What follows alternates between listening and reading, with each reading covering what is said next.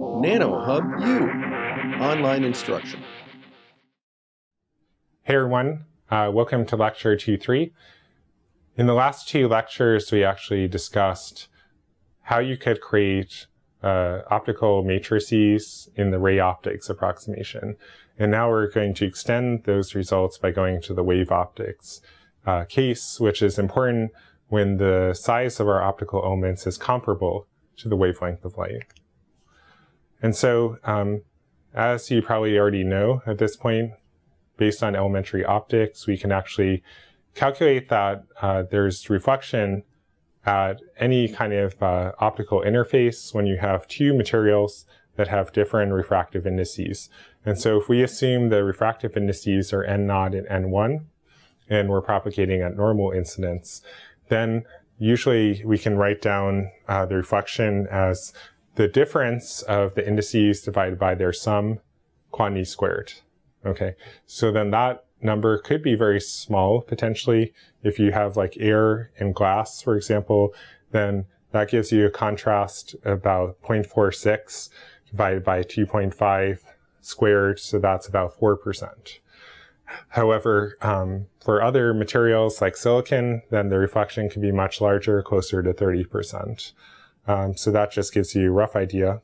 Um, and also the second thing that's important is not only the the absolute power reflection, but also there's a phase uh, that has to be considered. So basically when the light is propagating, as you can see here, in this direction, it picks up a phase and the phase has a sign uh, associated with uh, the propagation, which is either uh, beta z or minus beta z.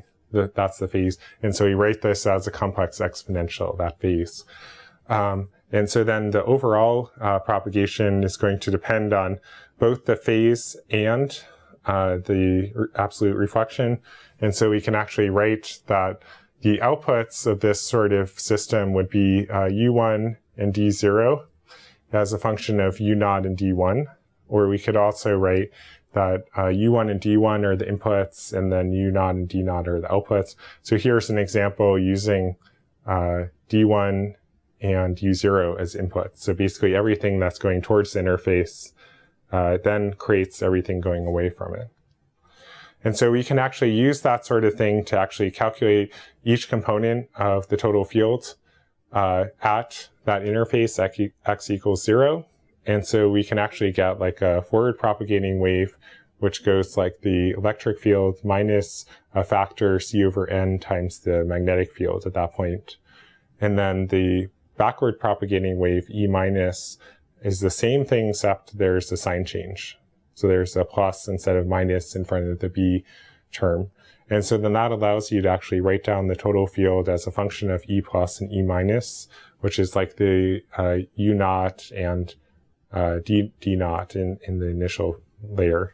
And so we can actually write that kind of like this. So you can see that's very similar to the form we had earlier, but just expanded in terms of E fields at the initial point, giving you the, the field at that final point L. So because basically the argument is that we started off with fields at this position, and then we extracted the forward and backward propagating components, and then we were able to superimpose the phases that they pick up as they propagate. And so then we can actually write down the overall solution of the E fields at a distant point in the matrix as a function of the initial E field and B field at the, the top of the layer. And so, of course, as you can see, um, you get basically very little change if propagation is very small compared to the thickness of the layer, because then cosine beta L would be close to 1 and then the sine terms would be close to zero, so it'd just be identity matrix. But as you move something that's a considerable fraction, beta L is approaching, say, pi over 2, then you get kind of the reverse. Then you get something that would be more like uh, 0 minus i, i, and then 0. Okay. And so this whole overall approach is what we call the transfer matrix in uh, the wave optics uh, uh approach. And so again, like in the ray optics case, once we have these elementary matrices for propagation in layers, then we can take matrix products to look at like what happens when you have lots of layers together. And so then this is kind of showing what all these layers composited together are going to look like. This is just basically uh, two different compositions of what's almost identical problem. One in which you have up and down propagating waves, and then the other where you have two different polarizations. And so those uh, can both be uh, valid treatments. So it's not that one is better than the other, but we're mainly going to stick to the left-hand side one.